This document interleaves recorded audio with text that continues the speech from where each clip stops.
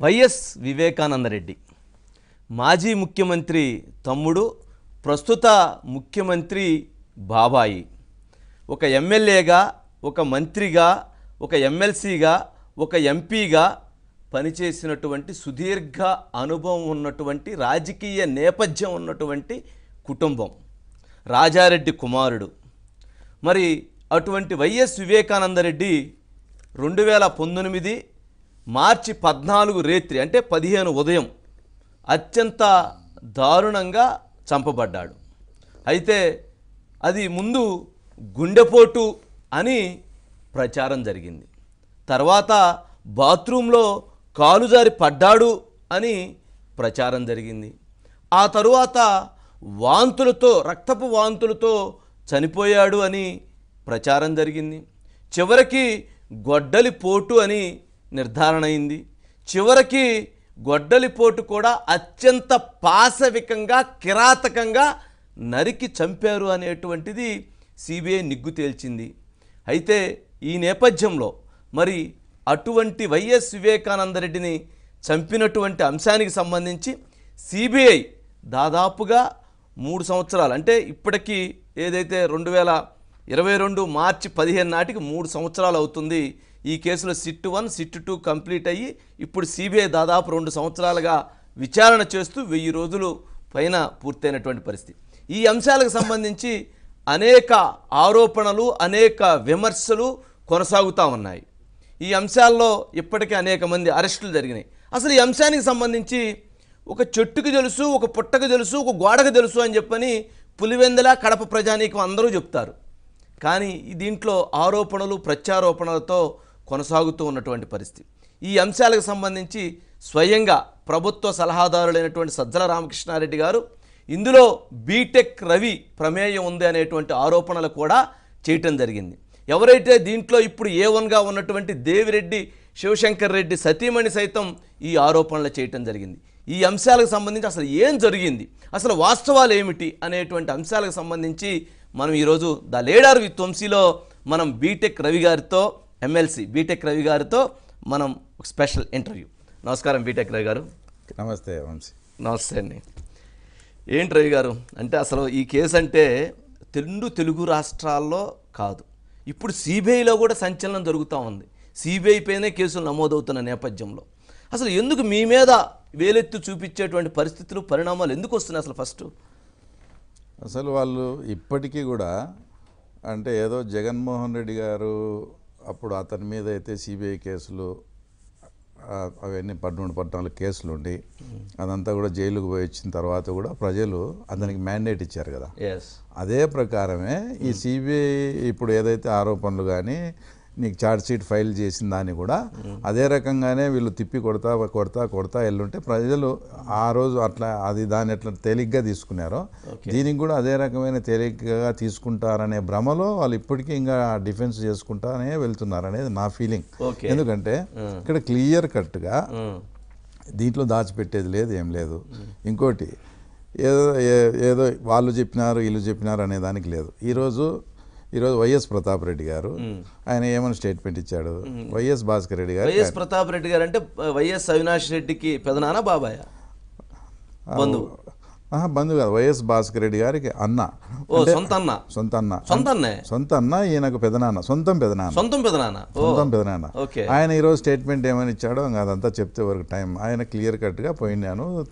అది మర్డర్ అని నాకు అనిపించింది. శంకరయ్య నీళ్ళు బెదిరిస్తున్నారు చేసినారు. ఇప్పుడు బయట వ్యక్తులు ఇంకోరు మాట్లాడితే దానికి ఏదన్నా ఉంటుంది సొంత మీ పెదనాయనకు మీకు మంచి సంబంధాలే ఉన్నాయి ఇంకోటి విషయం వాళ్ళ పెదనాయన ప్రతాప్ రెడ్డి గారికి వివేకానంద రెడ్డి గారికి ఆయన మర్డర్కు నాకు అంటే కరెక్ట్ ఐడియా లేదు. రెండు నెలల మూడు నెలల ముందు ప్రతాప్ రెడ్డి ఇంటి ముందు నడి రోడ్డు మీద కూర్చొని వివేకానంద రెడ్డి ధర్నా మాదిరి చేసినాడు one hour half an hour. Okay. అంటే వాళ్ళిద్దరికి ఏదైనా ఉంటే స్ప్లిట్స్ ఉన్నాయి. అలాంటి వ్యక్తే.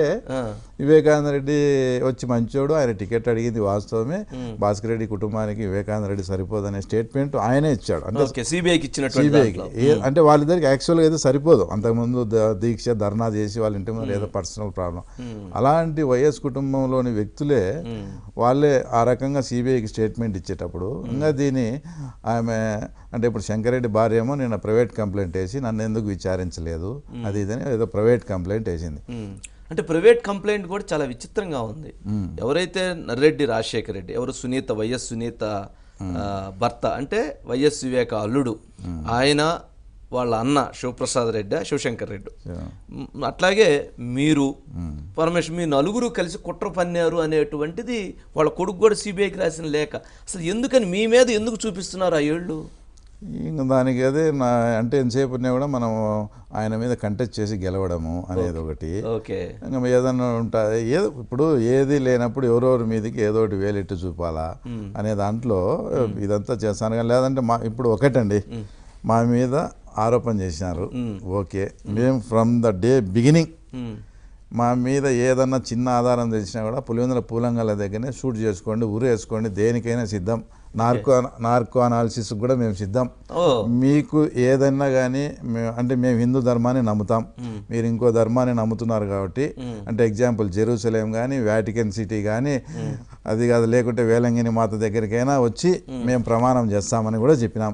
ఇంతవరకు మీరు దాని సవాల్ను కూడా స్వీకరించకుండా ఊరికి మా మీద ఆరోపణలు ఎందుకు చేస్తున్నారు? ధైర్యం ఇప్పుడు. అవినాష్ రెడ్డికి ఏమో ఆయన స్పీచ్ మాట్లాడతాడు అన్ని మాట్లాడతాడు కదా. ఆయన వచ్చి ఒక్కసారి ఒకసారి ఈ ఈ విషయంలో ఈ వివేకానంద రెడ్డి ఇష్యూలో నాది ఏమాత్రం తప్పు లేదని నేను ఎక్కడికైనా వచ్చి ప్రమాణం చేస్తా. నేను కాల్చి చంపడం దేనికైనా సిద్ధం అంటున్నారు. మమ్మల్ని ఏ రెడీ దేనికైనా ఇంత చిన్న ఆధారం చూపిండి మీరు చార్జ్ షీట్లో ఫ్రేమ్ అయ్యి ఇంత భయంకరంగా కేసులో ఎట్లా ఏ కోణం చూసినా కూడా లాస్ట్కు అన్ని వేలు కూడా మీ వైపే చూపించే ఇలాంటి తరుణంలో ఈ పరిస్థితుల్లో కూడా ఇంకా మీరు అసలు వాస్తవంగా అయితే నా ఏ పదవి కోసం అయితే నేను వివేకానంద రెడ్డిని మర్డర్ చేసినారనే అపవాదం నా మీదకి వచ్చిందో ఆ పదవికే రాజీనామా చేసి. సిబిఐ ఇంట్రా ఇన్వెస్టిగేషన్కి కానీ ఇంట్రాగేషన్ కానీ నేను సహకరించి నేను నాదేదైనా ఉంటే కోర్టులో ప్రూఫ్ చేసుకొని మళ్ళీ తప్పు కాదని తెలిసినప్పుడే నేను ఎంపీ పదవి చేపడతానని ఆయన ధైర్యంగా స్టేట్మెంట్ ఇవ్వాల్సింది. ఎందుకు ఇవ్వట్లేదంటారు? అంటే ఎందుకు ఇవ్వట్లేదంటే ఇంకా దాని అర్థం మీరే చెప్పండి. ఇప్పుడు ఆయనకు సంబంధం లేదు. ఎవరు ఆడ నువ్వు నువ్వు రాజీనామా చేసినా ఇంకోటి చేసినా ఆ తర్వాత నెక్స్ట్ కూడా ఇప్పుడు ప్రజెంట్ ఉండే పరిస్థితుల్లో వైఎస్ డాష్ డాష్ అనే వ్యక్తే ఎంపీ అభ్యర్థిగా వస్తాడు. మీకు వచ్చిన ఇబ్బంది లేదు ఏమీ లేదు. ఓ పోనీ ఇది జగన్మోహన్ రెడ్డికి అంటే ఫస్ట్ ఈ జగన్మోహన్ రెడ్డికి తెలియదని అనుకుందాం స్టార్టింగ్లో. జగన్మోహన్ రెడ్డికి తెలియదన్నప్పుడు నిన్నంత గుడ్డిగా నమ్మి తర్వాత నిన్ను నీకు ఇంత సహకారం చేసే జగన్మోహన్ రెడ్డికి నీ వల్ల చెడ్డ పేరు వచ్చేటప్పుడు ఎవరైనా అవినాష్ రెడ్డి ప్లేస్లో ఉంటే అన్న నా వల్ల పార్టీకి కానీ మీకు కానీ చెడ్డ పేరు వస్తుంది. నేను రాజీనామా చేస్తా. ఓకే. ఈరోజు. తర్వాత ఇన్వెస్టిగేషన్కి నేను సహకరిస్తా. అంతా అయిపోయి కోర్టులో ప్రూఫ్ అయినాకనే నేను మళ్ళీ రాజకీయాల్లోకి వస్తా. ఈ చెడ్డ పేరు అంటే నా వల్ల నీకు చెడ్డ పేరు వస్తుంది అది అది కరెక్ట్ కాదు అని ఎవరైనా మామూలుగా చెప్తారు. ఎందుకు చెప్పలేదంటే దాని అర్థం ఇంక రాష్ట్ర ప్రజలందరికీ తెలుసు దీని వెనక అవినాష్ రెడ్డి ఉన్నాడా? అవినాష్ రెడ్డి అరెస్ట్ అయితే వీడేమైనా నోరు ఇప్పితే మా బండారం బయటపడతాదని భయమా. ఇప్పుడు ఇంకోటి అండి వంశీ గారు క్లియర్గా. అంటే ఈ కేసు పెక్యులర్ అంటే స్పెషల్ కేసు అని చెప్పేదానికి ఇప్పుడు వీళ్ళు అక్కడికి ఎంటర్ అయినారు. ఆరు పదహైదుకో ఆరుకా ఏందనేది వీళ్ళు ఎంటర్ అయిపోయి ఆడ ఉన్నారు ఎక్కడైనా కూడా అంటే ఒకటే కేసులో ఒకటి వచ్చేసి మర్డర్ జరిగింది. నెక్స్ట్ స్టెప్ వచ్చి సాక్ష్యాలు తారుమారు ఎక్కడైనా అనేకమైన కేసెస్లో కావాలంటే మీరు అంటే మంచి ప్రొఫెషనల్ లాయర్స్ని అడగండి. క్రిమినల్ లాయర్స్ను. ఒక మర్డర్ చేస్తే సాక్ష్యాల ట్యాంపరింగ్ అవి చేసేది ఇంకో ప్లేస్లో జరిగింది. ఎక్కువ ఛాన్సెస్ అంటే ఆ శవాన్ని ఎత్తుకొని అటుకోపోతారు. అక్కడ సాక్ష్యాలు ఆనవాలు చేసి ఈ ఒక్క కేసులో స్పెషల్ కేసులో మర్డర్ ఇక్కడే జరిగింది. తర్వాత ఒక హాఫ్ అన్ అవర్గా వన్ అవర్గా టూ అవర్స్గా వీళ్ళు పోయి సాక్ష్యాల ట్యాంపరింగ్ కూడా ఇక్కడే చేసినారు. ఇది. అసలు ఒక్క నిమిషం ఆ, లెట్ yeah. మీ ఇప్పుడు మీరు అక్కడికి పోయినారు. మీకు మీకు అప్పటికి ఏ చిన్న పిల్లోనికి చూసినా ఫోటోలు కానీ మీరు పడిన ఆకారం చూస్తే మీకు మర్డర్ అనే విషయం అర్థమవుతుంది. మీకు మర్డర్ అనే విషయం అర్థమైనప్పుడు సాక్ష్యాల ట్యాంపరింగ్ ఎవరు చేస్తారు? ఓకే. సాక్ష్యాల ట్యాంపరింగ్ ఎవరు చేస్తారంటే ఆ మర్డర్ చేసిన వాళ్ళు ఎవరో మీకు తెలుసు కాబట్టి. ఓకే. అది సింపుల్ లాజిక్ దీంట్లో. Right. ఇప్పుడు చూస్తానే మర్డర్ జరిగింది. మర్డర్ జరుగుతానే మనం పోలీసు వాళ్ళకి ఫోన్ చేస్తాం ఇంకోటి చెప్తాం కదా లేదు చెప్తాం.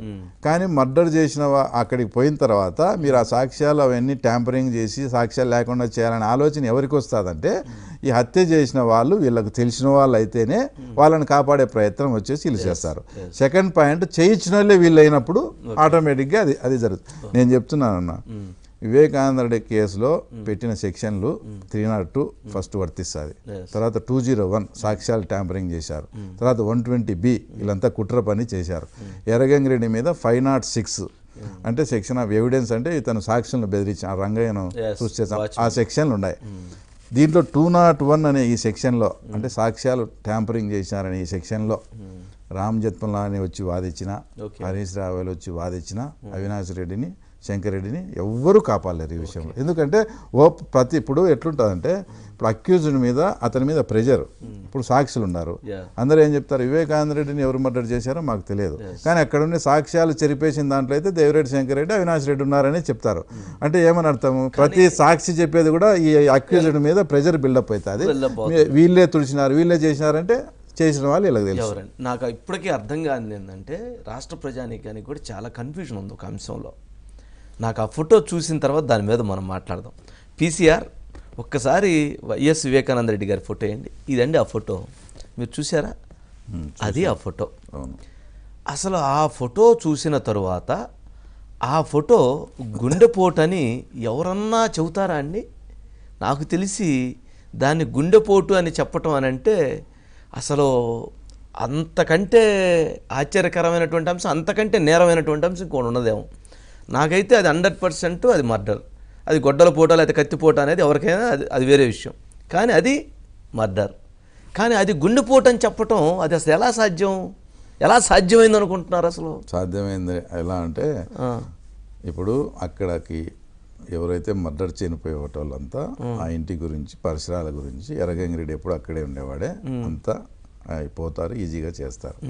శంకరెడ్డి అనే అతను అతని క్రిమినల్ బ్యాక్గ్రౌండ్ కానీ ఇంకోటి కానీ చాలా హిస్టరీ ఉంది అతనికి. ఓకే. అతనంతా కూడా ఎప్పుడు కూడా కోవర్ట్ ఆపరేషన్. వెనకముడి ఉండేవాడిని సెట్ చేసుకుని ఎర్రగంగిరెడ్డిని సెట్ చేసుకుని ఇచ్చేసినాడు.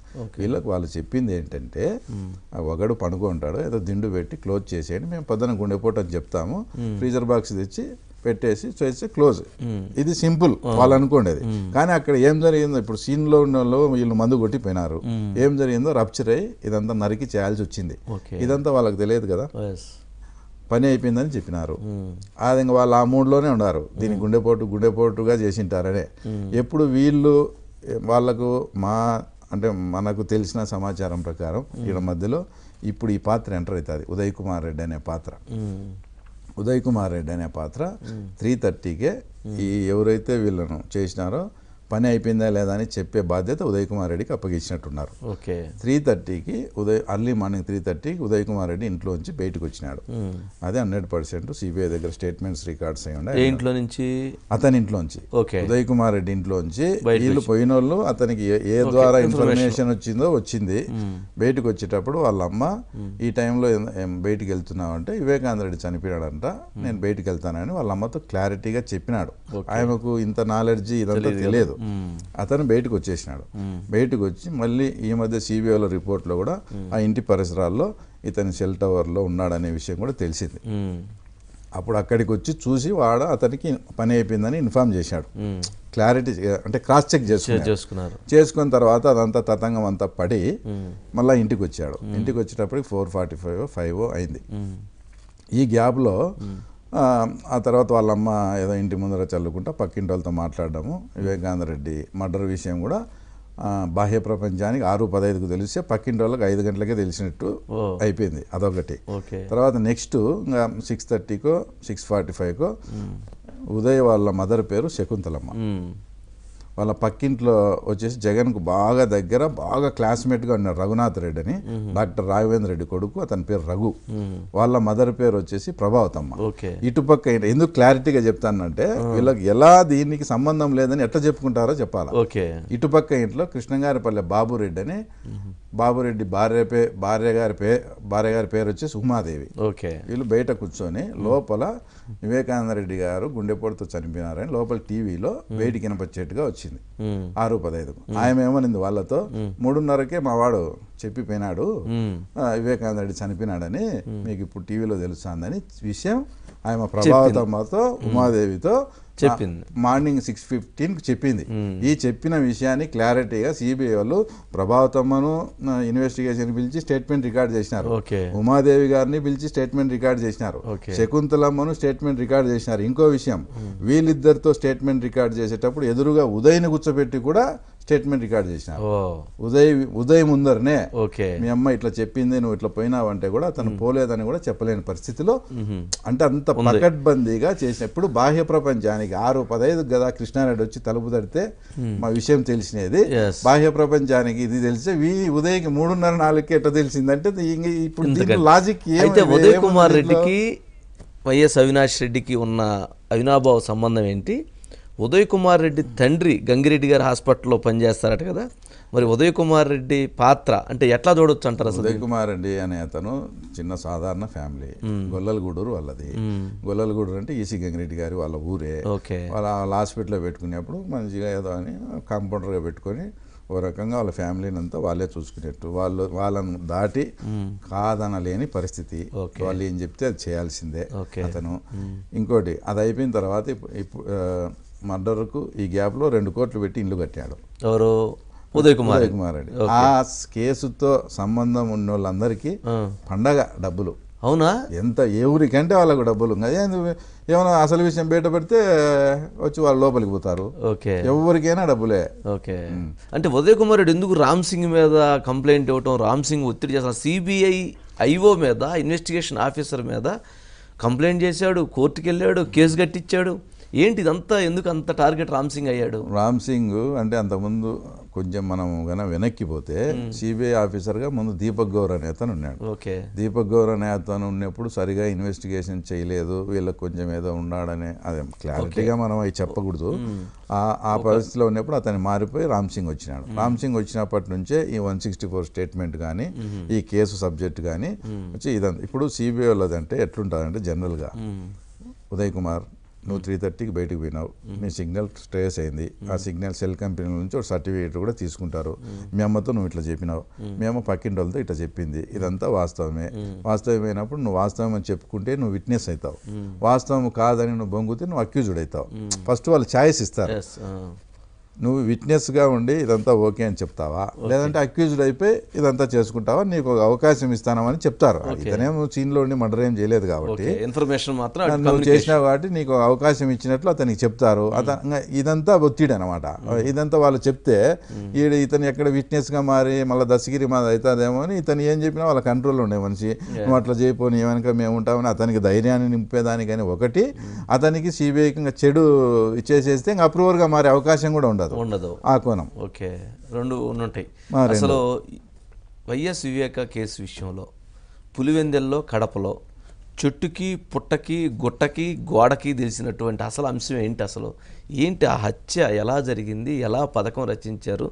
మెయిన్ ఆ అసలు ఏంటి దాంట్లో? దీంట్లో ఇప్పుడు పులివెందుల్లో ఏదన్నా ఇప్పుడు కౌన్ బనేగా కరోడ్పతి అని పెడితే. వానికి ఆన్సర్ తెలియ ఆన్సర్ తెలియకపోతే ఆడియన్ పోల్స్ అడుగుతాడు. వన్ టూ త్రీ ఫోర్ ఏబిసిడీలు ఏదన్నా. ఆప్షన్ కోసం ఆడియన్ పోల్ ఇస్తే ninety nine percent audience polls చెప్పింది అది వాస్తవమే వస్తుంది మిస్టేక్ ఎప్పుడో కర్మ టైం బ్యాడ్ అయితే ఆ క్వశ్చన్ రాంగ్ అవుతుంది అట్లాగా పులివెందుల్లో హత్య జరిగిన వారం పది రోజుల నుంచి ఈ టాక్ అనేది ఆటోమేటిక్గా స్టార్ట్ అయిపోయింది. వాళ్ళు ఎవరు వాళ్ళు తప్ప ఎవరికేం అవసరం ఉంది? హండ్రెడ్ పర్సెంట్ ఉంది ఉంది అని ఓపెన్గా ఇంకా వా- అంతా కూడా మాట్లాడే పరిస్థితి.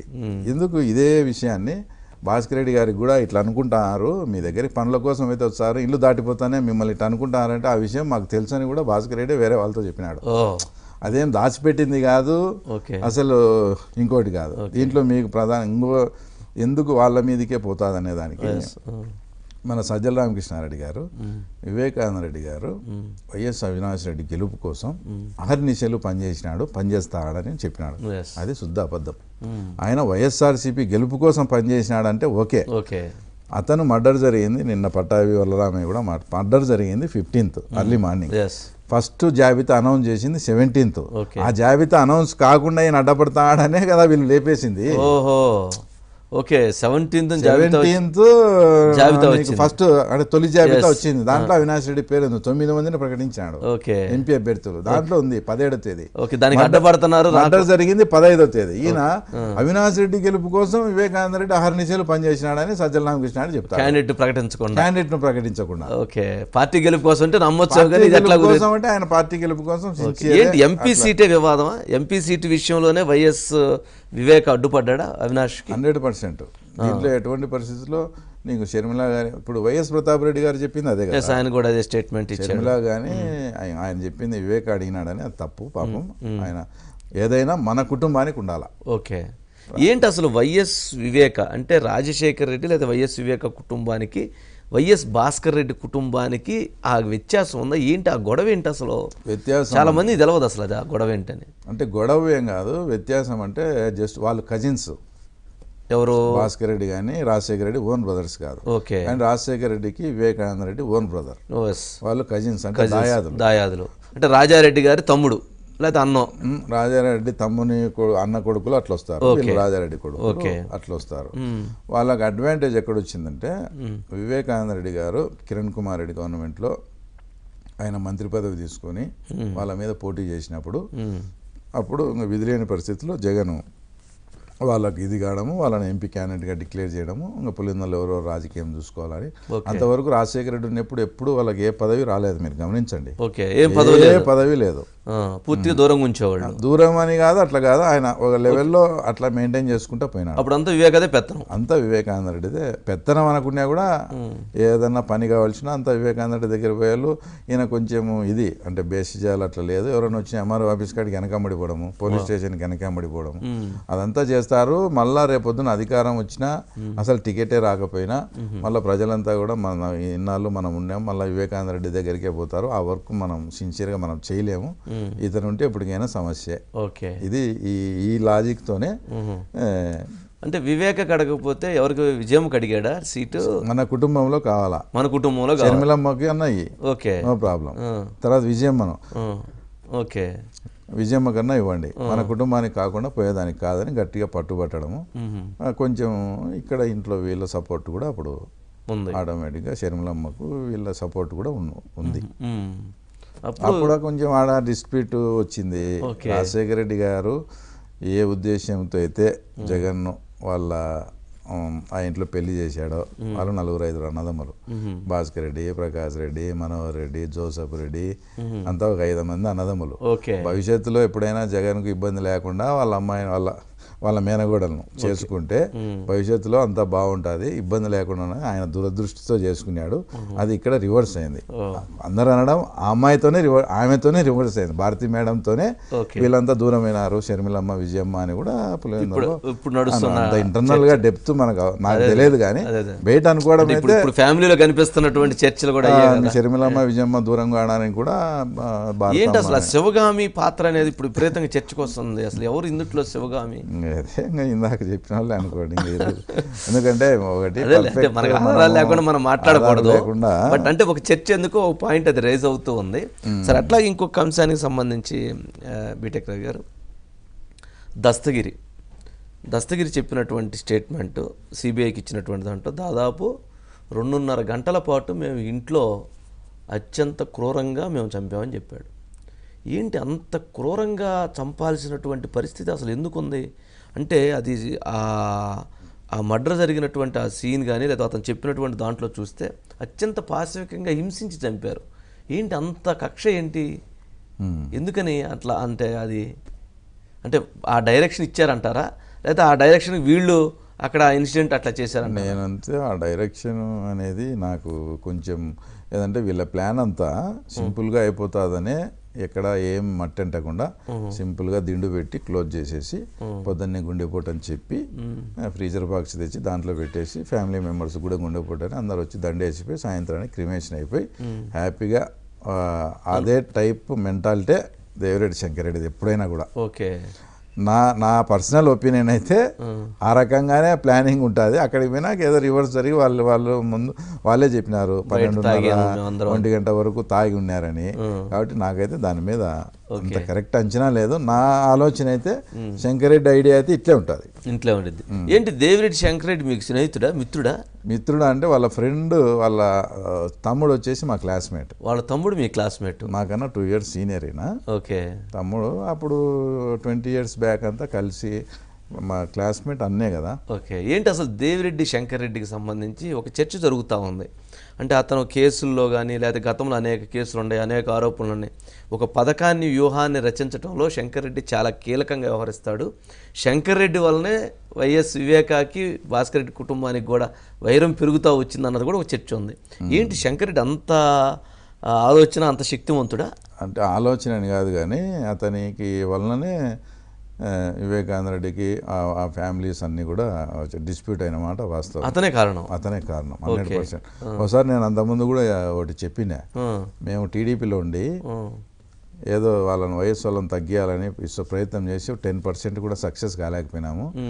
అదే మా ఫ్రెండ్ శంకరెడ్డి వాళ్ళని టోటల్గా జీరో చేసి పడేసినాడని కూడా చెప్పిండే.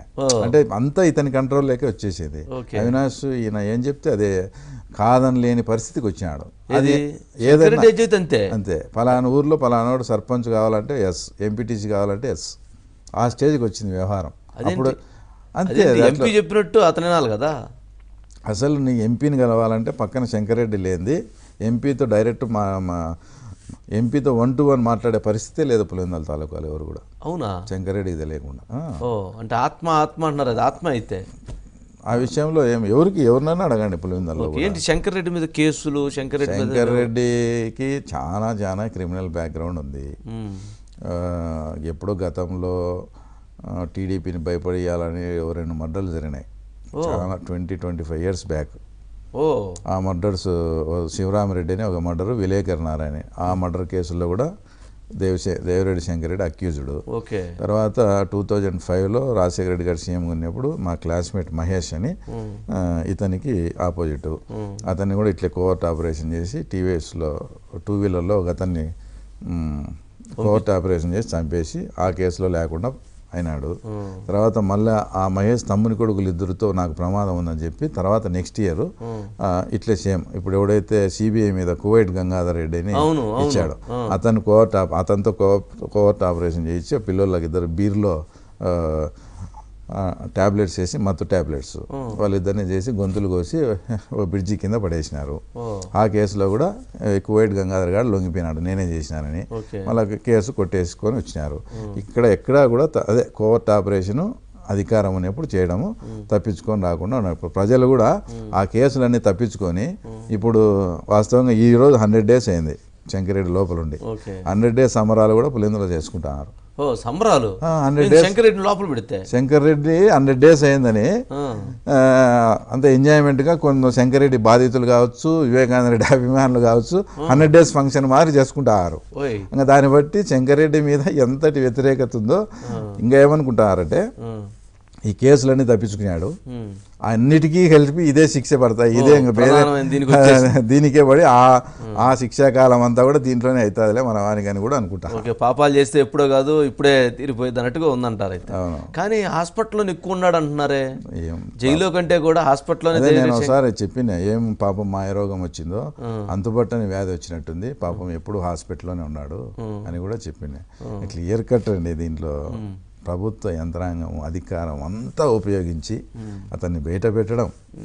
ఇంకో అసలు అతని గురించి ఇప్పటికి ఇద్దరు ముగ్గురు జైలర్లు మారినారు అక్కడ సూపరింటెండెంట్లు. ఎస్ మొన్న కూడా జైలర్ని విమర్శలు అసలు ఎంత అంటే అంత అధికారం. ఆ, ఒకతను మాకు బాగా క్లోజ్ సురేష్ రెడ్డి అని డాక్టర్.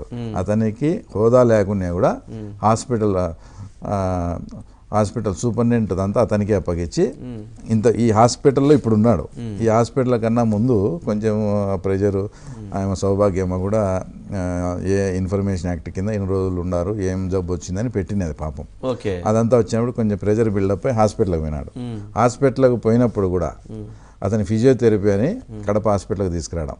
మళ్ళీ వెళ్ళేటప్పుడు ఇతనికి అత్యవసరంగా ఎల్లుండి కూడా చేయాలనడం. మళ్ళీ ఎల్లుండి రావడం. మళ్ళీ ఎల్లుండి పోయేటప్పుడు మళ్ళీ ఎల్లుండి రావాలి. అట్లా టూ డేస్కి ఒకసారి కూడా బయటకు వస్తాం విచ్చల వీడిగా అధికారాన్ని ఉపయోగ మాకు ఇప్పుడు అందరికీ కూడా నిజంగా చెప్తాను మేము మనస్ఫూర్తిగా ఒక పులివెందుల వాసిగా జగన్మోహన్ రెడ్డికి ఈ విషయం తెలియదు తెలియదు తెలియదని అనుకో అనుకుంటాను లోపల. ఓకే. ఎందుకంటే జ- మా పులివెందుల్లో ఏదేమైనప్పటికీ రాజశేఖర రెడ్డి ఒక బ్రాండ్ ఇమేజ్ పులివెందులు అంటే ఒక బ్రాండ్ ఇమేజ్ క్రియేట్ చేసి. ఇప్పుడు వీళ్ళు చేసింది ఏంది? సొంతం ఎంపీ కోసము ఎంపీ పదవి కోసం సొంతం చిన్నానే చంపుతారా మీ పులివెందులని ఎక్కడికి పోయినా పులివెందులకు మాకు మానం పోయే పరిస్థితి వచ్చింది. కాబట్టి జగన్మోహన్ రెడ్డికి ఇది తెలియకూడదనే వాస్తవంగా ఇది ఇది ఇతనికి తెలిసి జరగలేదని నేను మనస్ఫూర్తిగా కోరుకుంటాను. నిజంగా తెలిసే జరిగింటే అంతకన్నా దారుణం అంతకన్నా దుర్మార్గం లేదు. ఇది తెలిసిందనే దానికి ఏంటంటే శంకరెడ్డి ఆ రకంగా హాస్పిటల్ ఉండడమే. ఇప్పుడు ఒకటండి జగన్మోహన్ రెడ్డి గారి మనస్తత్వం మాకు బాగా తెలుసు. పరిటాలవి మర్డర్ ఇష్యూలో మంగళకృష్ణ అంటే ఎవరో తెలియదని పొద్దుటూరులో స్టేట్మెంట్ ఇచ్చినాడు. చెంచల్ కూడా జైల్లో ఒకటే జైల్లో ఉండి గాలి జనార్దన్ రెడ్డి ఎవరో నాకు తెలియదు అన్నాడు. ఉమ్, గాలి జనార్దన్ రెడ్డి తెలియకుండానే ఓఎంసీ మైన్స్ ఇదంతా. అంటే తన దాకా వస్తే ఎవరినైనా డోంట్ కేర్ టైపు. అలాంటి వ్యక్తి అవినాష్ను దేవరెడ్డి శంకర్ని ఎందుకు ఇంతగా వెనకేసుకొస్తాడు? వెనకేసుకురావడం ఎట్లా? ఒక అసెంబ్లీలో స్వయంగా ప్రకటించాడు. ఒక ఈ కన్ను ఈ కన్నును పొడుచుకుంటా అని అధ్యక్ష అని అడుగుతాడే. ఇప్పుడు చెప్పమని అధ్యక్ష ఈ చ- చార్జ్ షీట్లు అన్నీ వచ్చినాయి పేర్లు వచ్చినాయి. కన్ను కన్నును పొడుచుకున్నట్టు అధ్యక్ష లేక ఒకటి సాంగ్ చూడు ఏ కన్ను చూడదనా అదే ఏంది ఇది? చెప్పాలి కదా ఇప్పుడు. జగన్మోహన్ రెడ్డి గారు ముఖ్యమంత్రి స్థానంలో ఉండి అసెంబ్లీ వేదికగా ఆ రకంగా చెప్తే అది ఇన్వెస్టిగేషన్ ఏజెన్సీని ప్రభావితం చేయడం కాదండి. చెప్పాలా? ఎవరైనా అసలు గా మీద- విచారణ ఎవరైనా హైకోర్టు పోయి పిల్లు వేసినా కూడా ఆయన సమాధానం చెప్పుకోవాల్సిన పరిస్థితి. ఒక సీఎంగా బాధ్యతాయుతమైన స్థానంలో ఉండి ఒక దేశంలోనే అత్యున్నతమైన ఒక సిబిఐ ఇన్వెస్టిగేషన్ చేస్తా అంటే మా తమ్ముడు ఈ కన్ను ఈ కన్ను పొడుచుకుంటుందా అవినాష్ రెడ్డి మంచోడు అమాయకుడు అని చెప్తాడు. మేము చెప్పేది ఒకటే మీరు చెప్పేది అవినాష్ రెడ్డి. ఎన్ని చూస్తే మీకు అనుమానాలు కలుగుతున్నాయా? జగన్మోహన్ రెడ్డికి అనుమా జగన్మోహన్ రెడ్డి మీద అనుమానం. జగన్మోహన్ రెడ్డి మీద అనుమానం కలిగేదానికి అవినాష్ రెడ్డిని పూర్తిగా వెనకేసుకొని రావడం. ఓకే. శంకర్ రెడ్డికి విచ్చలవిడిగా అధికారం. ఆయన ఎప్పుడు కావాలంటే అప్పుడు ఇప్పుడు అసలు ఫిఫ్టీ పర్సెంట్ కాదు సెవెంటీ ఫైవ్ పర్సెంట్ అతను హాస్పిటల్లోనే ఉన్నాడు. అవును. ఉన్నాడు. మేము చెప్పేది కూడా మీరు అవినాష్ రెడ్డి మంచోడు మట్టిలో మాణిక్యము ఆనిముత్యము స్వాతిముత్యంలో కమలాసన్ టైప్ అని చెప్తారు. మేము చెప్పేది కూడా అదే. పులివెందులకు చెడ్డ పేరు వస్తుంది కాబట్టి నువ్వు నిజాయితీగా నువ్వు నువ్వు వాళ్ళు చెప్పే మాదిరిగా నువ్వు ఉంటే నువ్వు నిజాయితీగా ఏ పదవి కోసం అయితే నన్ను అంటానో దానికి రాజీనామా చేసి స్వచ్ఛందంగా నేను సహకరిస్తా అని చెప్పు. కొంతలో కొంతైనా ఏదైనా కానీ ఇది జరుగుతుంది అనేది వాళ్ళు దానే పట్టుకొని ఉన్నారు. నోరు తెరవరు. మేము ఎంతగా ఇంకోటి మీరు గమనించండి. మేము స్టార్టింగ్ నుంచి ఏదైతే చెప్తా వచ్చామో ఈరోజు అది వాస్తవం అయిందా లేదా ఎస్ హండ్రెడ్ పర్సెంట్ పలానోళ్ళు పలానా ఛార్జ్ షీట్ తోటి నిరూపించినటువంటి మనం ముందు నుంచి వాళ్ళే వాళ్ళే వాళ్ళకి తప్ప వేరే వాళ్ళకి ఛాన్స్ లేదని పులివెందుల ఆడియన్స్ చెప్తున్నారు తర్వాత మనము అనేక వేదికల మీద కూడా మనం చెప్తా వచ్చాము ఇండైరెక్ట్గా అంటే పేర్లు చెప్పకుండా పులివెందుల ప్రాంతానికి చెందిన వాళ్ళే ఇప్పుడు పదవుల్లో ఉన్న వాళ్ళని చెప్తా వచ్చాము. ఇప్పుడు అదే వాస్తవం అయింది కదా. కాబట్టి జగన్ వచ్చింది కదా? ఎప్పుడు వైఎస్ అవినాష్ రెడ్డి అరెస్ట్ ఎప్పుడు ఉంటుంది అది మనం చెప్పలేమండి. మనం ఇప్పుడు నేను చెప్పినాను అనుకో పొరపాటున అదే రోజు జరిగింది అనుకో రెండు రోజుల్లో జరుగుతాయి సత్యరామకృష్ణ అంటే దీని వెనక బీటెక్ రవి ఎట్ట తెలుస్తుంది? చంద్రబాబు నాయుడు ఉన్నాడని కూడా చెప్తాడు. అవును అసలు మీరు అంటే చంద్రబాబు నాయుడు లోకేష్ బీటెక్ రవి ఆదినారాయణ రెడ్డి నలుగురు కదా పోయి చంపి వచ్చింది. గుండెపోటు తర్వాత కూడా ఇది కూడా వచ్చింది నలుగురు. ఎప్పుడు ఆయన స్పెషల్ ఫ్లైట్ వేసుకెళ్ళారా? లేకపోతే ఎట్ట వెళ్ళారు అసలు? వాళ్ళ ఉద్దేశం అంటే వాళ్ళ కోణం. సరే మీ కోణం కాకపోయినా వాళ్ళ కోణం. ఎట్లా వెళ్ళారు అసలు? ఏ వాళ్ళు ఆరోపణలు చే చూడు ఎంత అది ఘోరంగా. ఇంకోటి ఆశ్చర్యం కదా. ఇంకోటి అండి ఇప్పుడు సింపుల్ లాజిక్ ఒకటి చెప్తాను. ఇదంతా దీని వెనక ఛార్జ్ షీట్లో కూడా పేర్లు వచ్చినాయి. ఛార్జ్ షీట్ సిబిఐని ఇంకా ఏదేదో అన్నారు.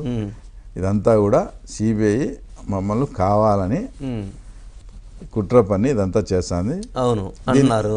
దీని దీని వెనక చంద్రబాబు నాయుడు ఉన్నారు అంటారు ఆ, అవును అవును అన్నారు కదా. ఉన్నాడు అనుకోండి చేసి స్టేట్మెంట్ ఇచ్చారు. ఉన్నాడు అనుకోండి చంద్రబాబు నాయుడు గారికి నిజంగా కెపాసిటీ ఉంటే ఈ వివేకానంద రెడ్డి కేసు ఏం పడింది నీ బేలే క్యాన్సిల్ చేసి నేను లోపలికి పంపిస్తాం కదా. ఓకే. సింపుల్ లాజిక్ కదా మాకు అంత శక్తి ఉంటే. ఓకే. ఆ బెయిల్ క్యాన్సిల్ ఏదో రఘురామకృష్ణరాజు చేసినప్పుడు సిబిఐ వాళ్ళు కౌంటర్ ఫైల్ చేయలే. ఆ, మాకు అంత శక్తి ఉంటే కౌంటర్ ఫైల్ చేస్తాం ఇతను బయట ఉండి ముఖ్యమంత్రిగా సాక్షులను ప్రభావితం చేస్తాడని ఒకటి వేపిస్తాం ఆ బెయిల్ క్యాన్సిల్ అయితే ఇతను లోపలికి పోతాడు కదా. ఈ రాక్షస పాలన నుంచి రాష్ట్రాన్ని అంత ఈజీగా అంత ఈజీగా కాపాడేందుకు మా దగ్గర శక్తి ఉంటే మేము అదే చేస్తాం కదా. అంత ఫులిష్గా అంత లాజిక్ లేకుండా మాట్లాడితే ఎట్లా చెప్పండి? ఇంకోటి జగన్మోహన్ రెడ్డి మీరు మంచి లాజిక్ చెప్పారు. అసలు ఎందుకు మాకెందుకు సైనికులు ఎందుకు రాజీనామా లోపలేస్తాం కదా. మాకు ఈ వివేకానంద రెడ్డి కేసులో ఈ అవినాష్ రెడ్డిని ఇరికేయాల్సిన అవసరం ఏముందండి? బెయిల్ క్యాన్సిలేషన్ ఇంకోటో పెట్టి నేను ఆల్రెడీ ఇది చేసేస్తాం కదా. ఓకే. రాష్ట్ర బాగు కోసమైనా. మాకు అలాంటిది. అంతే. ఇన్ఫ్లుయెన్స్ చేయలేకపోయినా. రాష్ట్రాన్ని కాపాడుకునే దానికైనా నా- మా దగ్గర శక్తి ఉండి చంద్రబాబు నాయుడు గారికి అట్లాంటి ఇష్టం లేకుండా మేము బలవంతంగా ఒప్పించేలా చేస్తాం కదా. మాకు ఆ శక్తి ఉంటే అంత ఫులీస్గా అంత లాజిక్ లేకుండా. అపాయింట్మెంటే లేదు కదా ఢిల్లీలో ఆయన. లాజికల్ లేకుండా ఆయన మాట్లాడతాడు. ఇంకోటి ఆయన చెప్పింది ఎంత ఘోరమైన విషయం అంటే నిజంగా ఆయన మేము బాధితులము బాధితుల మీదనే నిందలా అన్నాడు. అది ఎంత ఘోరం. బాధితులు ఎవరు? రాజశే ఆ, బాధితులు సునీత రాజశేఖర్.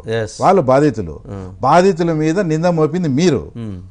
బాధితులే చేసినారని దేవిరెడ్డి శంకరెడ్డి భార్య చెప్పా దేవిరెడ్డి శంకరెడ్డి కొడుకు చెప్పా మీరు చెప్పా శివప్రకాష్ రెడ్డి వాళ్ళే చేసినారు వాళ్ళే. బాధితులు వాళ్ళు బాధితుల మీద నింద మోపింది మీరు ఈయన ఏమంటారు రివర్స్గా బా మేము వివేకానంద రెడ్డి కోల్పోయి బాధలో ఉంటే మా బాధితుల మీదనే మా మీద నిందలు అంటాడు ఆయన.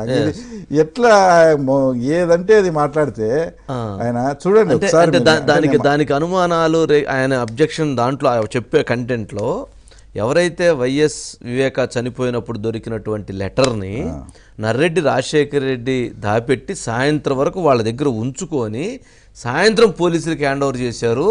అట్లాగే ఇది దీని వెనక కుట్ర దాగి ఉంది కదా అనేది ఆయన ప్రశ్న. ఒకటండి. ఇప్పుడు అక్కడ లెటర్ దొరికింది. లెటర్లో డ్రైవర్ ప్రసాద్ నన్ను చంపినాడని ఆయన ఆయన రాసినాడని ఉంది. అది క్లియర్ కట్గా అందరికీ ఇది ఎవరో ప్రసాద్ మీదకి పోయేదానికి చేసిన పని అని వాళ్ళకి అర్థం కాలేదులే. వాళ్ళకి ఏది అర్థం కాదు. చిన్న పిల్లోనికైనా అర్థమవుతుంది. కృష్ణారెడ్డి లెటర్ లెటర్ దొరికిందని చెప్పి రాజశేఖర్కు ఫోన్లో సమాచారం ఇచ్చినాడు. ఏముందంటే చదివి వినిపించినాడు. ప్రసాద్ మీదికి మేము వచ్చే లోపల ఈ లెటర్ అందరికీ చూపిస్తే ఎవడోడు రా వివేకానంద రెడ్డి అభిమానం పాడో పరదేశం ఉండి ప్రసాద్ గాని ఇంటి మీదకి పోయి ఏదైనా జరుగుతుందేమో లెటర్ మాయం చేయమని చెప్పలే. ఓకే. ఆడ మీరు important point. Letter keep with you. మీతో ఉంచండి లెటర్. మేము ఆన్ ద వే. పదకొండుకో పన్నెండుకో ఒంటి గంటకు మేము పులివెందులు చేరుతాం. పులివెందులు చేరుతానే మా చేతికి లెటర్ ఇవ్వండి. మీరు వాళ్ళకు వాళ్ళకి ఇచ్చి ప్రసాద్ కుటుంబానికి హాని జరుగుతుందనే ఒక మంచి ఉద్దేశంతో వాళ్ళు చెప్తే దాన్ని పట్టుకొని అంటే ఇప్పుడు ఇందాక మీరు ఫోటో చూపించారు. ఆ ఫోటో చూసినోనికి అర్థం కాదు అది మర్డరా ఇంకోటి అని. లెటర్ చూసింటేనే వాళ్ళకి అర్థమయ్యేదా? చెప్పండి మీరు. ఫోటో చూసి ఎవరికైనా అర్థమవుతుంది. ఇది మర్డర్ అని. లెటర్ చూసినా ఇంకోటండి ఇంకా హాస్యాస్పదమైన విషయం ఏంటంటే ఆ లెటర్ గురించి అంత గొప్పగా మాట్లాడాడే జగన్మోహన్ రెడ్డి ఏం మాట్లాడినాడు? ఫైవ్ ఫైవ్ థర్టీకి ఒక ఫ్యాబ్రికేటెడ్ లెటర్ సృష్టించి ఇట్లా చేసినారని చెప్పినాడు. అది ఆయన స్వస్థాలతో రాసిందని తర్వాత తేలింది. ఈయన ఏం చెప్పినాడు? లెటరే ఫ్యాబ్రికేటెడ్ అన్నాడు. ఆయన ఆయన్నేమనాలా ఓకే. ఆ లెటర్ ఆ లెటరే అంత ఇంపార్టెంట్ అయినప్పుడు ఆ లెటర్నే నువ్వు ఫ్యాబ్రికేటెడ్ అన్నావు కదా? జగన్మోహన్ రెడ్డి గారే అన్నారు కదా. దానేమనాలా దానికి అసలు వాళ్ళు ఏ దీంట్లో ఇప్పుడు ఏదైనా కానీ వాళ్ళు ఎందుకో ఏ ఐడియాతో ఇదే నాకు అనుకోవడం ఏంటంటే జగన్ రెడ్డి కేసులు కదా ఇట్లా అయిపోయి జనం మర్చిపోయి అతన్ని వల్ల ముఖ్యమంత్రిని చేసినారు. ఇది కూడా మాకు సంబంధం లేదు మాకు సంబంధం లేదు మాకు సంబంధం లేదు అంట అంట దీని. అట్లే ప్రజల్లో ఇది చేయాలన్నారు. కానీ ఆ కేసులు వేరు. ఇది సెన్సేషనల్ మర్డర్ కేసు.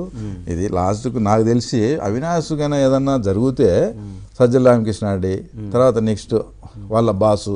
అట్లా కూడా వెళ్తాదేమని భయపడి వీళ్ళంతా డిపెండ్ చేసుకుంటూ వస్తున్నారు అనేది నా ఫీలింగ్. ఓకే. ఎందుకు అంత భయపడాల్సిన అవసరం ఏంటంటే వాళ్ళు అంటే వాళ్ళకి తెలిసి జరిగిందనేదే కదా ఇప్పుడు. మెయిన్ దీంట్లో ఇంపార్టెంట్ థింగ్ ఏంటంటే పది కోట్లు డబ్బు అయితే ట్రాన్స్ఫర్ అయింది. ట్రాన్స్ఫర్ అయింది నలభై కోట్లు కదా మొత్తం డీల్ దస్తగిరి అమౌంట్ అమౌంట్ నలభై కోట్లు అండి ఒకరికి ఐదు ఐదు ఇస్తాము. నలుగురికి ఇరవై ఎరగంగిరెడ్డికి అది సెట్టింగ్.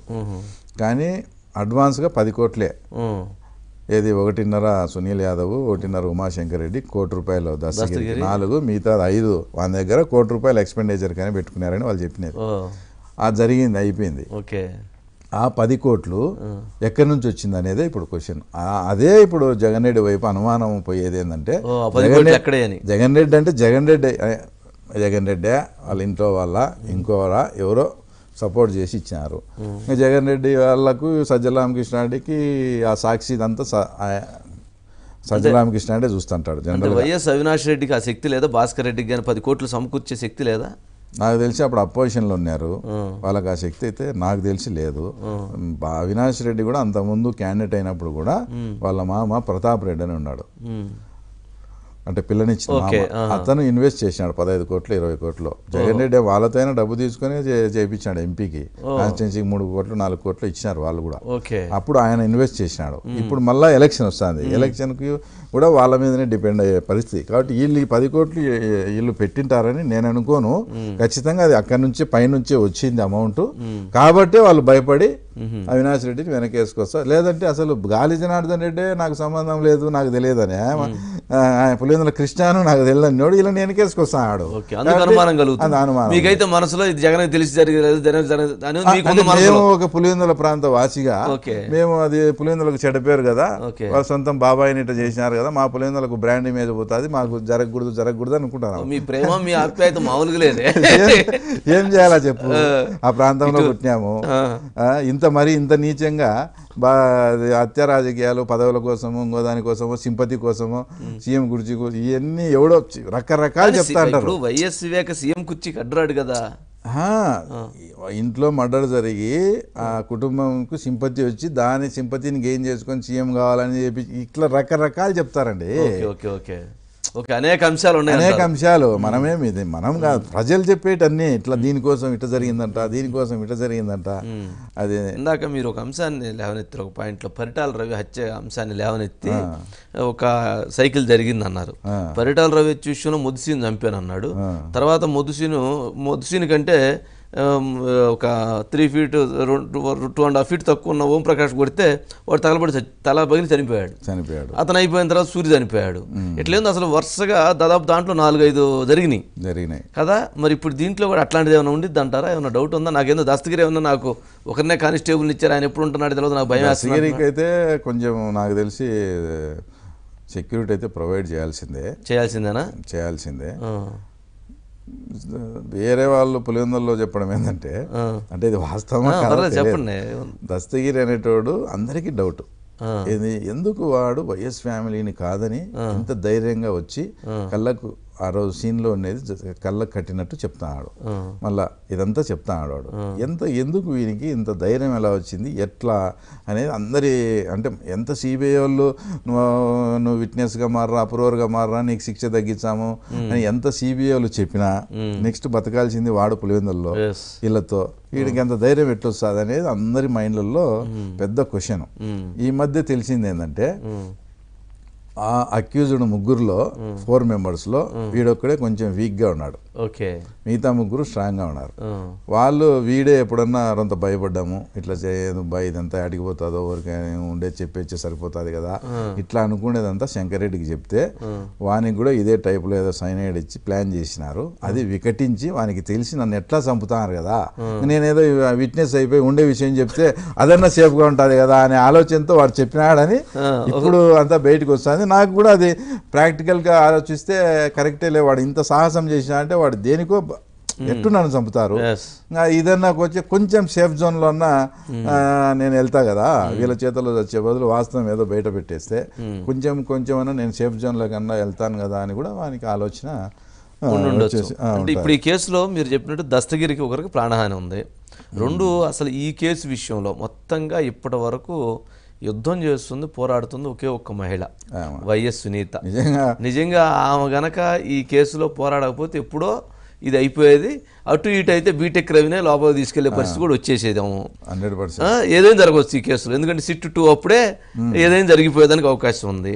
మరి అటువంటి పరిస్థితిలో ఆమెకు ప్రాణహాని ఉంది. ఆమె కూడా స్వయంగా ఎస్పీకి పోయి కంప్లైంట్ ఇచ్చింది. నా ఇంటి ముందు జనం తిరుగుతున్నారు నాకు ప్రాణహాని ఉంది నాకు ఇక్కడ ఆందోళన పరిస్థితి ఉందని చెప్పి ఆమె కూడా ఇచ్చింది. రైట్ ఈ రెండు. ఈ నలుగురు ఎవరైతే హత్య చేశారో దేవిరెడ్డి శంకర్ రెడ్డి దీనికి మధ్యలో ఇది. ఇప్పుడు ఇతను గనక ఈ చైన్లో కనుక ఇతను కనుక కట్ అయిపోతే ఇంక ఇటు ఉన్నటువంటిది ఏమి ఇటు వచ్చేదానికి. ఇప్పుడు వరుణ్ రెడ్డి వచ్చినాడంటే అందరికీ ఇప్పుడు జైలు వరుణ్ రెడ్డి. వచ్చాడంటానే మళ్ళీ ఇప్పుడు ఏదో పాత పోలీస్ ఆఫీసర్ అప్పుడు దడదల్లాడిచ్చాడు మళ్ళీ అతను వేసారని అంతా భయపడతారు చూడు. ఆ రేంజ్లో జరిగే కదా మళ్ళీ ట్రాన్స్ఫర్ చేసి. ఇదంతా అయింది. ఆ ప్రమాదం ఎప్పటికీ. ముద్దు శ్రీనులో చం- చనిపోయినప్పుడు వరుణ్ రెడ్డి అక్కడ ఉన్నాడు మళ్ళీ ఇప్పుడు ఇక్కడికి వచ్చాడంటే ఏదో జరిగింది అనేది ఎప్పుడు ఉంటుంది. ఇంకోటి దీనిలో అంటే నేను ఎక్కువ సజ్జల గారు మాట్లాడిన దాని మీదనే. ఇప్పుడు సజ్జల గారు ఆ రోజు ఏం మాట్లాడతారు? ఆదినారాయణ రెడ్డికి శివప్రకాష్ రెడ్డికి ఫోన్లో మాట్లాడుకునే ఆ, అవును చెప్పారు. చనువు సంబంధం ఉంది. జనరల్గా వివేకానంద రెడ్డి ఇట్లా చనిపోయినాడంటే. క్యూరి అసలు వాస్తవంగా వంశీ గారు నేను ఇంట్లో ఉన్నా ఆ రోజు మా ఊరు ఒక ట్వంటీ కిలోమీటర్స్ మార్నింగ్ నాకు సిక్స్ థర్టీ సెవెన్కు నాకు తెలిసింది. నేను చూన్ను పోవాలని అంత రెడీ అయినా. రెడీ అయిన తర్వాత ఈ ఫోటోలు బయటకు వచ్చినాయి. ఇదేందో మర్డర్ అన్నారు. మళ్ళీ రెండు సేపు ఉంటానే బీటెక్ రవి కాదనాడికి సంబంధం అంటే నేను చూన్ను పోలే. లేదంటే నేను. నేను వాస్తవంగా ఆయన ఎందుకంటే నాతో పాటు కంటెస్ట్ చేసిన తర్వాత గెలిచిన తర్వాత కూడా ఎయిర్పోర్ట్లో ఎక్కడైనా కనపడినా బాగా మాట్లాడేవాడు. మాకు బాగా ఆయనకు అది ఎలాంటిది లేదు. ఏంటి మీరు ముప్పై నాలుగు ఓట్లతోట గెలిచింది? ముప్పై ఎనిమిది. ముప్పై ఎనిమిది. అంటే అప్పుడు ఆ రోజు మీరు ఆ గెలుపుకి ఎవరైతే వైఎస్ భాస్కర్ రెడ్డి వాళ్ళు సపోర్ట్ చేశారో అట్లాంటిది ఏమైనా ఉందా? అసలు నథింగ్ అండి.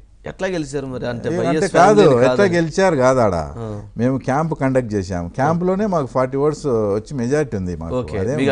కాకతాళీయంగా ఏదో అక్కడ ఓట్లు మాకు వచ్చి గెలిచింది కాదు. బలంగా ఉంది. క్యాంప్ అదంతా ఉత్తది. క్యాంప్ మేము కండక్ట్ చేసినప్పుడే మాకు ఫోర్ థర్టీ ఫోర్ ఓట్స్ అంటే ఉన్నాయి. వాళ్ళకి త్రీ ఎయిట్ సంథింగ్ ఉన్నాయి. క్యాంప్లోనే తెలిసి. వాళ్ళు ఏంటంటే వివేకానంద రెడ్డి స్టేచర్ ముందర ఆయన రాజశేఖర రెడ్డి తమ్ముడు జగన్ బాబాయ్ కాబట్టి మా క్యాంప్లో ఉన్న వాళ్ళు కూడా కొన్ని క్రాస్ ఓటింగ్ జరిగి గెలుస్తాడని అనుకున్నారు. అది ఫెయిల్ అయింది. అది కొంచెం మేము సిస్టమేటిక్గా వర్క్ చేసుకోవడము అంతేగాని అది. ఇప్పుడు శివప్రకాష్ రెడ్డికి ఆదినాడు అన్న క్యాజువల్గా ఇట్లా జరిగిందంటేనే ఫోన్ చేస్తే బాగా గుండెపోటుతో చనిపోయినాడని చెప్పినారని ఆయన చెప్పినాడని ఆదినాడు అన్న అది చెప్పినాడు. శివప్రకాష్ రెడ్డి అది సజ్జల రామకృష్ణ రెడ్డి ఉదహరిస్తాడు ఎస్ చెప్తున్నారు. ఇప్పుడు ఈ అసలు స్పాట్లోకి వెళ్ళింది అవినాష్ రెడ్డి శంకర్ రెడ్డి వాళ్ళు మార్నింగ్ అయ్యారు. శివప్రకాష్ రెడ్డి ఉండేది హైదరాబాద్లో ఆ రోజు. వాళ్ళకు బావ చనిపోయినాడు వీళ్ళు ఏం చెప్తే అది ఆయన చెప్పేవాడే కదా. అంతే కదా. ఇట్లాంటివన్నీ ఆయన లేడు. ఆయన లేడు కళ్ళతో చూసింది లేదు. ఈ కృష్ణాడు అనేటోడు ఇట్లా బాగా ఇట్లా చనిపోయినాడు బ్లడ్ వామిటింగ్స్తో అని చెప్పినాడు. ఆయన అదే చెప్పినాడు. అది చెప్పిందని కాబట్టి వాళ్ళే ముందు చెప్పింది వాళ్ళే ఇదని అట్లా సజ్జల రామకృష్ణాడి గారు వితండ లాస్ట్కి ఎట్లుందంటే సజ్జల రామకృష్ణాడి సజ్జల రామకృష్ణాడి గారిది మా వివేకానంద రెడ్డి మా బాబాయ్. మేము చంపుకుంటే? ఆ, మేము మేము మా మా వివేకానంద రెడ్డి మా మనిషి. మేము మా గొడ్డలతో నరుక్కుంటాము చంపుకుంటాము. ఏ సంబంధం లేని తెలుగుదేశం వాళ్ళకి మీకేంటికి బాధ బాధ? అంటే ఏదో సింపుల్గా చెప్తారు చూడు మా ఇంట్లో కొన్ని మేము కోసుకుంటే మీకేం బాధ అని. అట్లా అని చెప్పలేదులే నందమూరి- బాలకృష్ణ ఇంట్లో కాల్పులు జరిగినప్పుడు రాజశేఖర రెడ్డి గారు ఉదాసీనంగా వ్యవహరించారు మీరు కూడా కాస్త మీరు ఎట్లా వ్యవహరిస్తున్నారని అడిగారు. సరే. అర్థమైంది కదా మీకు? అర్థమైంది. ఉదా ఉదా ఉదాసీనంగా వ్యవహరించినాడు. ఆయన అన్నప్పుడు ఏమని అర్థము? అంటే ఇప్పుడు మేము అట్లే చేయమని కదా. అంటే చేయమని అంటే మీరు తప్పు చేసినారనే కదా. దానికి స్టికాన్ కమ్మనండి మమ్మల్ని ఉదారంగా ఇప్పుడు ఉండండి అంటాడు. అంటే దాని అర్థం ఏమని? మేము తప్పు చేసినాము. మీరు దాని అంత ఫోర్స్గా ఎత్తి చూపకుండా మీరు కూడా ఉదారంగా ఉండండి అనే కదా అప్పుడు ఆ కేసు ఆ కేసు కోర్టులో పోయిందండి. Yes, కోర్టులోకి పోయింది. బాలకృష్ణ గారిది ఏం కేసు పెట్టినారు అన్ని పెట్టినారు. కోర్టులో వాళ్ళు అండర్స్టాండింగ్ మీద తప్పు సాక్ష్యం చెప్పినారు. కోర్టులో అక్విటల్ అయింది. ఓకే అది ఉదారంగా పోయినారని మేము ఉదారంగా పొమ్మంటాడు. ఎస్ ఇంకొక అంశాన్ని కూడా లేవనెత్తారు. B Tech Ravi Parameswar Reddy. అసలు వీళ్ళిద్దరూ మధ్య అక్కడ పొలిటికల్ గ్యాప్ ఉంది.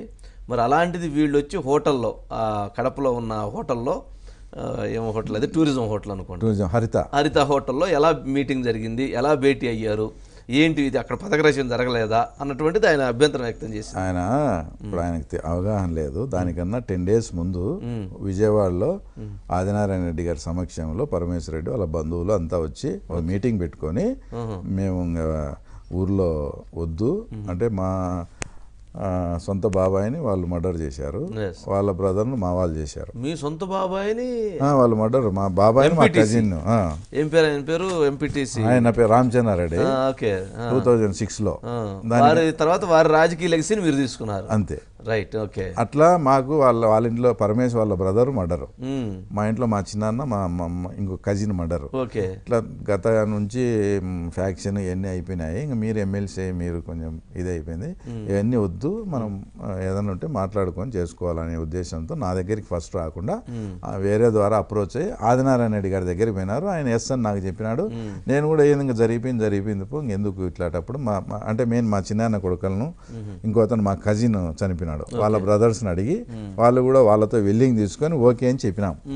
అయిపోయింది అది. అయిపోయిన తర్వాత అవ- అవతల రోజు వాళ్ళ ఫ్యామిలీ మేము నా ఇప్పుడు నేను పరమేశ్వర రెడ్డి కలవలేదు హరితలో. అవునా? నేను పరమేశ్వరుడితో పాటు వాళ్ళ బంధువులంతా ఆరేడు మంది వచ్చారు. ఏ సెవెన్ ప్లస్ వన్ కలిసింది. Okay seven plus one. అది నేను పరమేశ్వర రెడ్డి అది కలిస్తే రహస్యం అవుతుంది సెవెన్ ప్లస్ వన్తో కలిస్తే రహస్యం ఎట్లయితుంది?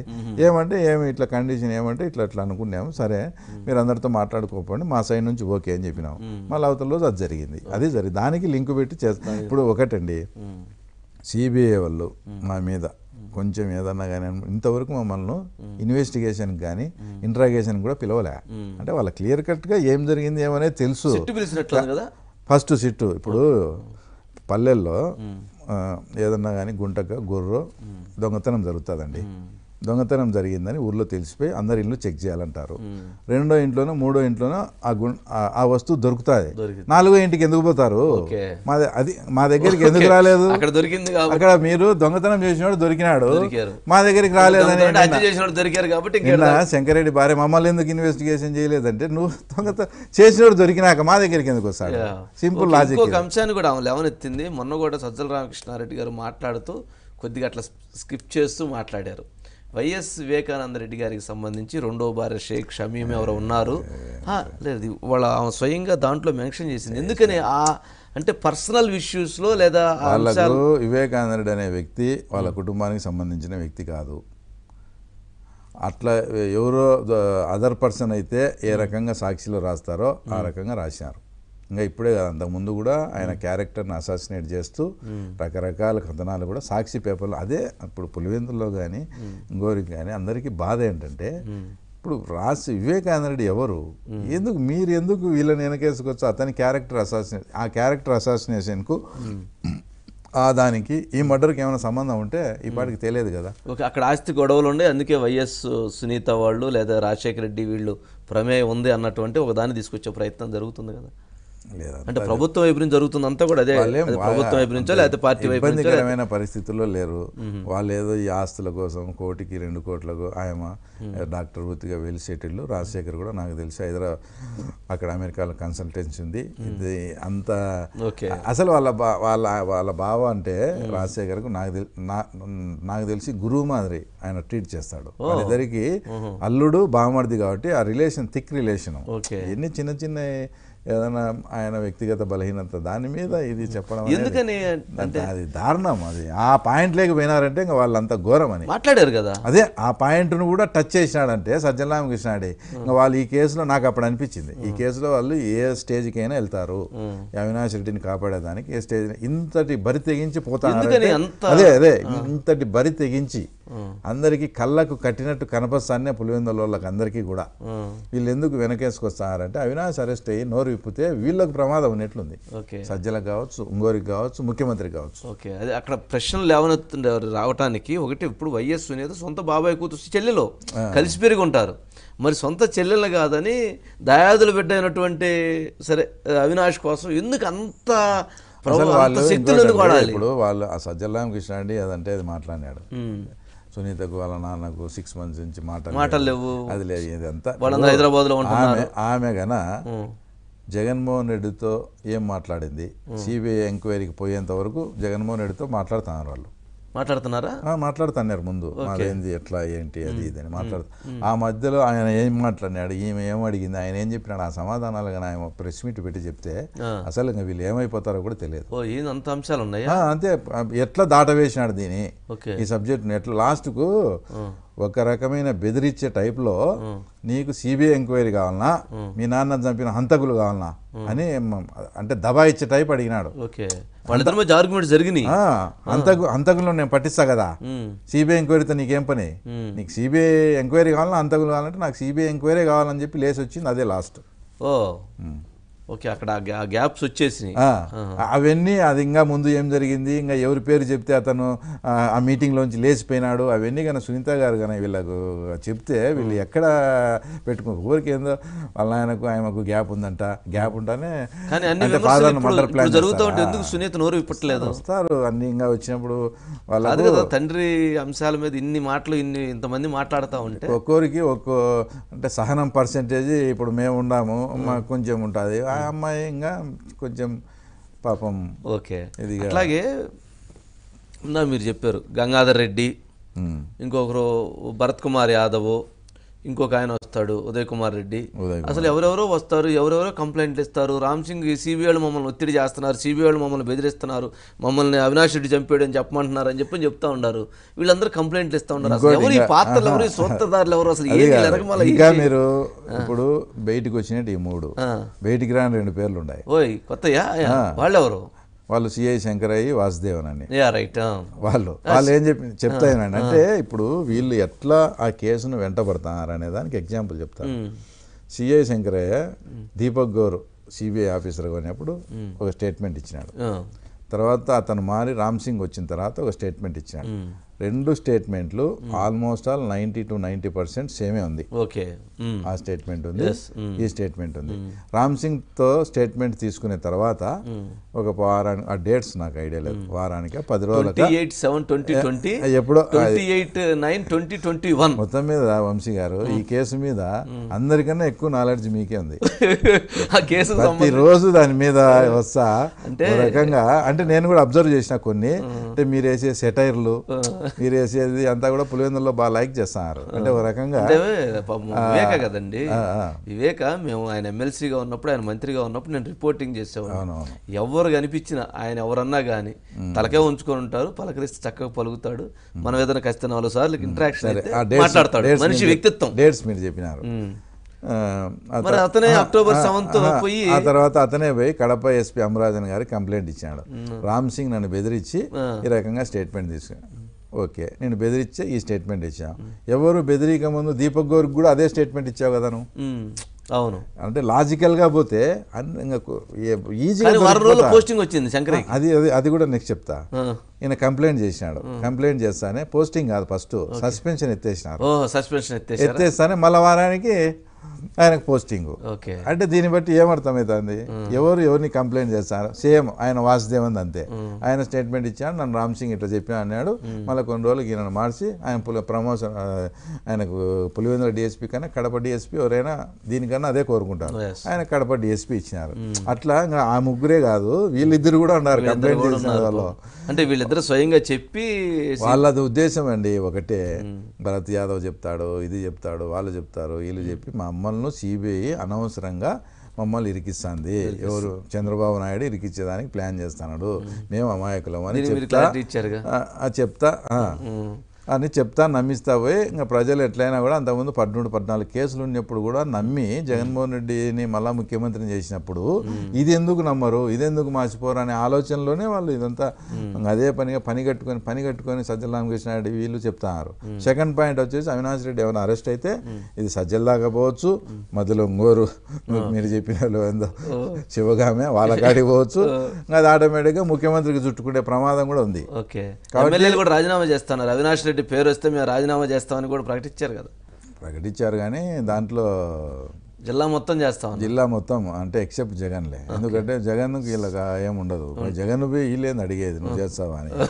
అదే కానీ నేను క్లారిటీగా రోజు సవాళ్ళు నేను రాజమౌళి వస్తే నేను క్లారిటీగా అడిగినా. చార్జ్ షీట్లో ఫ్రేమ్ అయితేనే చేస్తారా? శిక్ష పడినా శిక్ష పడినా శిక్ష పదేళ్ళ తర్వాత పడేది నువ్వు ఎమ్మెల్యేగా ఉంటావా అని అడిగినా. Yes. ఛార్జ్ షీట్లో పెట్టినప్పుడు చేస్తా అని చెప్పండి అని అడిగారు అని అడి చార్జ్ షీట్లో పెడతానే చేస్తే మేము కూడా సవాళ్ళు ఏదైనా ఉంటే పెట్టకుంటే మేము రాజీనామా చేస్తామనో ఆ బుద్ధి ఇచ్చిందము కానీ శిక్ష పడిన తర్వాత అన్నప్పుడు నువ్వు శిక్ష వాళ్ళకి పదేళ్ళు అవుతుందో పదహైదేళ్ళు అవుతుందో ఈ తొమ్మిది మంది ఎమ్మెల్యేలుగా గ్యారంటీ ఉంటారా? మళ్ళీ వాళ్ళకి టికెట్ ఇచ్చాడా. ఏంది ఇది? ఇంత సేఫ్ సైడ్ ఛాలెంజ్లు చెప్పాకండి అని చెప్పినాను ఆ, తూచి ఛాలెంజ్ అంతే కదా. అదేం ఛాలెంజ్ ఎప్పుడో పదేళ్ళ తర్వాత జరిగేదానికి అసలు ఈయనకు నెక్స్ట్ టికెట్ ఇచ్చారో లేదో తెలియదు ఈయన ఎమ్మెల్యేగా ఉంటాడో లేదో తెలియదు అంటే టెన్ ఇయర్స్ తర్వాత ఏం జరుగుతుంది అనేది మనం ఏదో సజ్జలో వాళ్ళు ఇచ్చింటారు నేను ఇట్లానే సపోర్ట్గా మాట్లాడమంటే ఆయన మాట్లాడేసింటారు. అంత వాగ్దాట్ ఉంది. నువ్వు ఏదన్నా అట్లా ఇట్లా మాట్లాడతావు కదా అంటే ఆయన వచ్చి మాట్లాడింటాడు. అంటారు ఓకే అట్లాగే ఇంకొక అంశం. ఏంది అసలు బీటెక్ రవి ఇప్పుడు పులివెందుల్లో జగన్మోహన్ రెడ్డిని ఢీ కొట్టబోతున్నారా రేపు ఎన్నికల్లో? రేపు అంటే నిన్ననే ఒక టూ త్రీ ప్రకటించినట్టు డేస్ బ్యాక్ ప్రకటించాడు ఆడందరూ అంటే ఈ సబ్జెక్ట్ మా కాన్స్టిట్యున్సీ మీటింగ్ జరిగినప్పుడు ఆయన నెక్స్ట్ వచ్చే ఎలక్షన్స్లో కూడా ఇన్ఛార్జి కాదు మనం జగన్మోహన్ రెడ్డి మీద రవినే పోటీ చేస్తాడు. మీరంతా సహకరించండి అనే విషయం ఆయన చెప్పినాడు. చెప్పారు. నేను నేను అనుకోవడం ఏంటంటే పర్సనల్గా అంటే పార్టీని ఇప్పుడు అంతకుముందు ఎవరైతే కంటెస్ట్ చేస్తా ఉన్నారో ఆయన రాజీనామా చేసినాడు. పార్టీలో లేరు ఇప్పుడు. లేరు.